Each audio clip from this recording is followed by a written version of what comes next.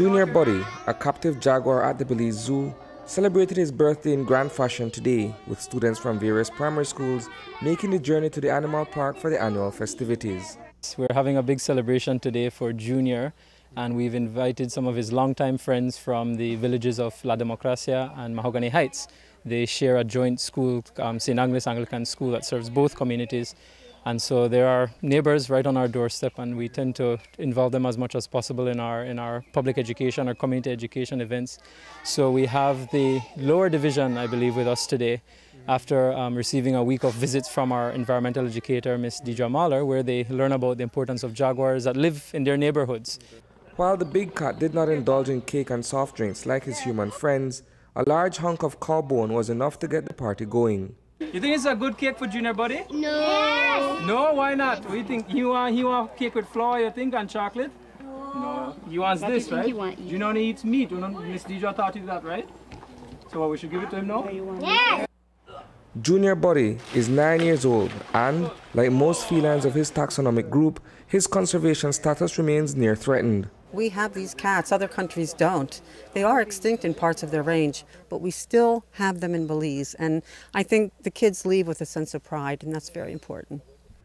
As a keystone species, jaguars play an important role in stabilizing the ecosystem and regulating the populations of the animals they hunt. He was born here uh, nine years ago. His mom was a sheep killer, and she came here as part of our problem jaguar rehab program. She was nearly dead, believe it or not, but we didn't know she was pregnant. So we worked really hard to save her life, and bammo, she had this baby, and she rejected Junior after two days.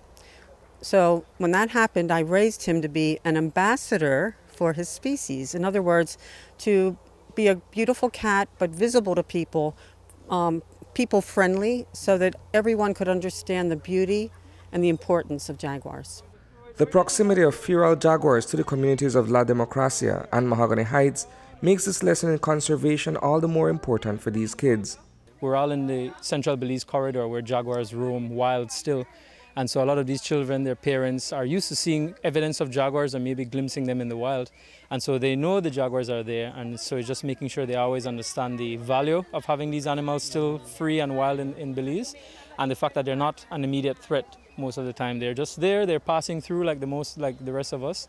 And so this is one of the ways we do it. We use something, a positive icon, which is Junior Buddy. Um, he's very charismatic, he's been around people his entire life, and so he demonstrates their intelligence, their beauty, their charisma. And the reason for celebrating his annual milestone? As, as well known as Junior is, it's, how it's highly relevant to keep it, the, the power of education is keeping it constant. So, you know, you have to keep it in people's mindsets, you know, constantly remind them in positive ways why wildlife is an important part of Belize's identity, you know, a part of our culture, our economy, everything. And so it's so people don't take for granted these things that we have that some other countries can't even boast to have. Um, in other, some of our other Central American neighbors, they have no tapirs left. They barely have jaguars. They have other species that are dwindling, but Belize can still boast a healthy jaguar population, among other wildlife, and that's something we can be proud of and should be proud of as a Central American nation. Reporting for News 5, I am Isani Cayetano.